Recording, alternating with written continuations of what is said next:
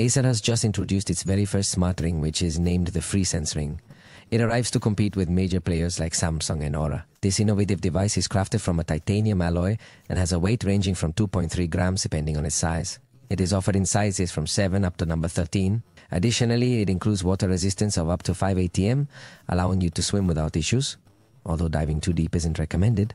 It also incorporates biometric sensors that track heart rate, blood oxygen levels, heart rate variability, and sleep quality, providing somewhat personalized recommendations through the use of artificial intelligence. Therefore, it is not exactly introducing any groundbreaking features, nor does it stand out significantly compared to other rings already available in the market. This ring will come in black with a glossy finish and matte rose gold, offering a design that will be available in both of these colors.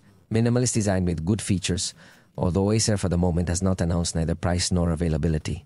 I do not like when they announce their products without price because we cannot have them as a reference, but well, it is expected that in the coming weeks the price will be announced.